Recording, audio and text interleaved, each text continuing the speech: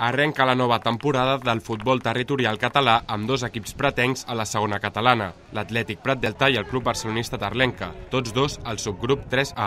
Pel que fa a l'Atlètic Prat Delta, torna a competir a la mateixa categoria després de quedar-se a les portes de l'ascens. Va quedar subcampió empatat amb el líder, però la federació només va promocionar els tres millors segons de la segona catalana.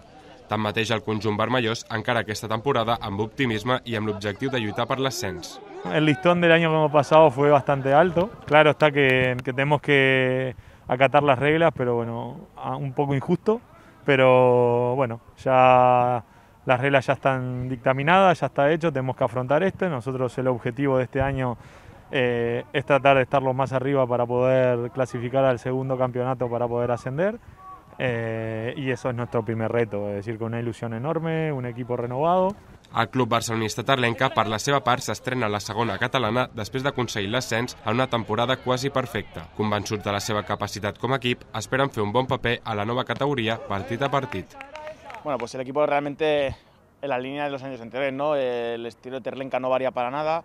Es un equipo muy profesional, siempre lo digo, ¿no? y no me cansa de decirlo, es un equipo muy profesional para la categoría donde estamos.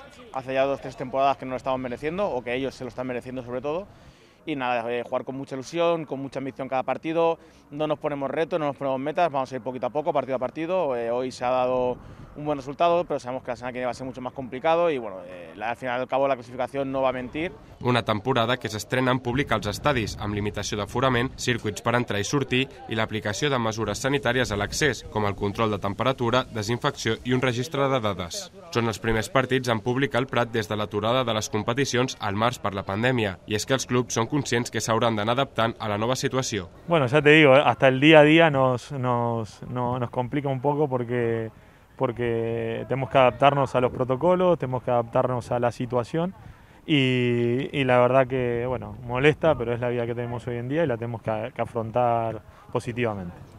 De hecho, a nosotros nos tocó también parar por protocolo 15 días. Va a afectar seguro, ¿no? Eh, algún partido seguro que no se va a aplazar, por algún caso nuestro, por algún caso rival. Nos vamos en la situación, el club ya se han dado situaciones y nosotros lo dije el primer día, ¿no? No vamos a esconder nada. Eh, nos tenemos que adaptar. Es un año raro, es un año difícil, ya de por sí ya es un grupo primero, después una segunda fase. Bueno, pues el club se adaptará, los jugadores nos adaptaremos desde el cuerpo técnico también y intentaremos pues, por, aportar nuestro granito de arena para que todo vaya muy bien.